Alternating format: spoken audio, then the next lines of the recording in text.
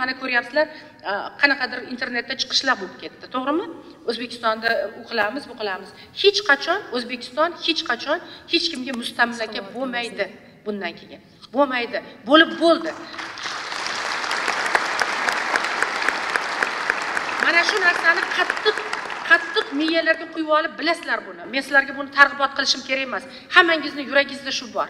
Mana jadidchilik faoliyatini nima uchun prezident e, oldinga surib harakat qilyaptilar. Shuni bilsin.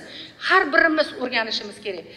Chunki qaranglar jadid ota e, ona otalarimiz onalarimiz ichida ayollar ham bo'lgan ekan xursand bo'lganimiz. Shular nima degan? Ayt- aytganki E, anaqa o'y o'y xayolimiz ham bir xil bo'lishi kerak deyilgan. Ishimiz ham bir xil bo'lishi kerak degan. To'g'rimi?